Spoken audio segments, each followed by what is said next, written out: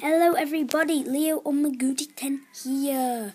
And I just want to do some film reviews. So later I might do Hunger Games Catching Fire, but I don't know. Um, okay, so let's start with Gravity. Gravity is pretty cool.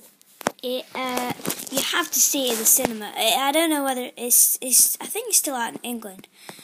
I don't. I think it's not. It's not out in America anymore. I'm not sure. But a brilliant film.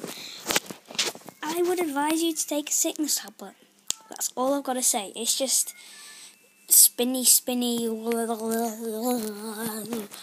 Made me feel sick a bit, but brilliant, brilliant film. Um, I think that's got George Clooney and um, who's a girl?